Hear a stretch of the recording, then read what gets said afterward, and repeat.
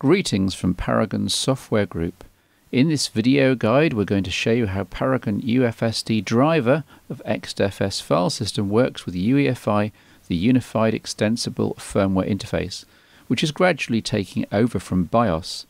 By default, UEFI doesn't support the Linux ExtFS file system, but our product provides full read and write access to partitions formatted as ExtFS, immediately at powering on the computer, even prior to the installed operating system starting up. We will show you some usage examples and the essential capabilities of the driver, reading data from an ExtFS volume mounted in UEFI by our driver, and writing data to that volume.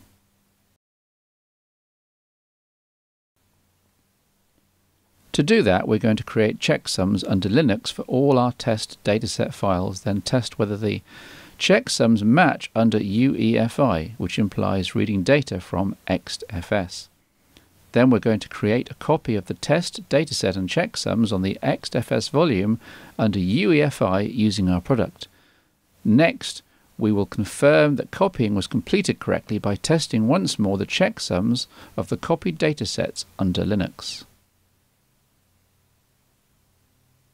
For this demo, we will use a virtual test VMware Workstation instance consisting of a virtual machine with OS Linux Debian 8 x64 installed and a virtual machine configured to boot into built-in UEFI shell, also x64 by VMware. We will also use a test drive attached to both machines that we will power on in turns to emulate sequential loading into different environments, and a USB flash drive containing Paragon UFSD driver and the test utilities. Let's prepare a test dataset. The size of the test disk is 16 GB with the GPT partitioning scheme, having a single ext4 volume with a 4 KB cluster size. The volume label makes it easy to identify. Drive Auto Mounted Startup is disabled to avoid auto check and the repair of the file system.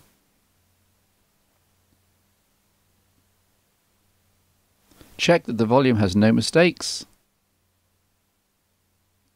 And now let's mount it.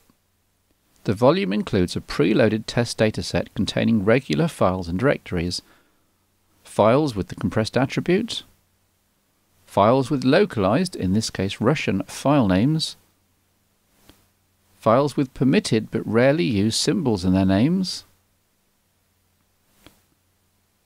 files of various sizes,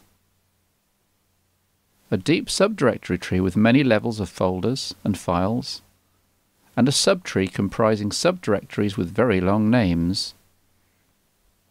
Now we are going to create a checksum file for all the files in the test dataset in order to check if the files are read and written correctly.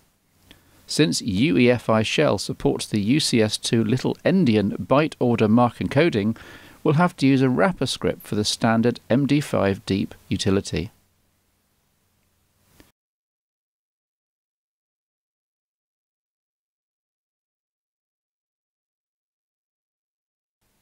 We will save the checksum file together with the test dataset, check its validity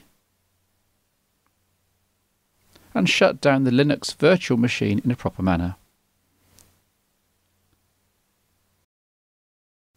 Now let's power on our UEFI shell machine.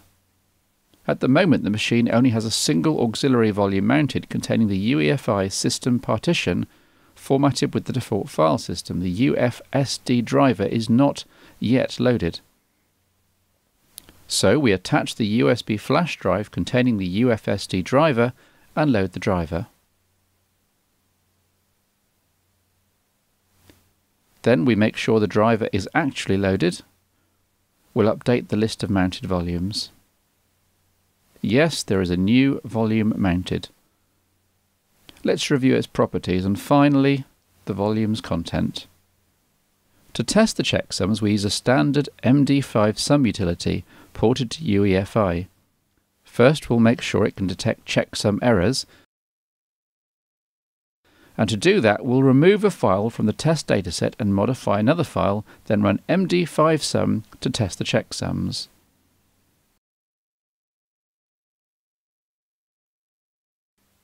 Alright, errors have been detected. Let's restore the initial state of the test dataset.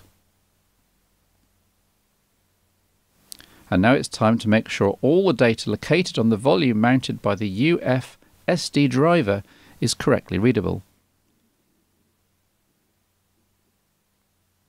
Here we are, there are no more error messages. Now let's test write access to ExtFS. We'll write a copy of the test dataset and its checksum file on the same volume, and then we'll confirm that the driver can read the data it has just written.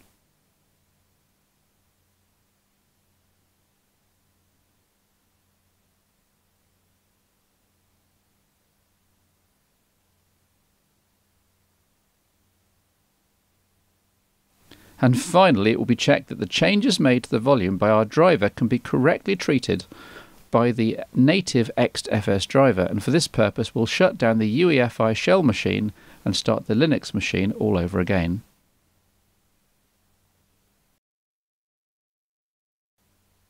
Let's make sure the volume contains no errors. We'll also test that the copied data is correct we can observe that the dataset comprises the same number of files.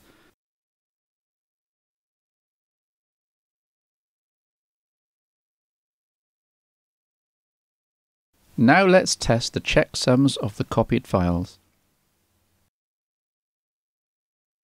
The checksums of all files also match. We have just confirmed that the test dataset has been successfully written. Thanks for watching.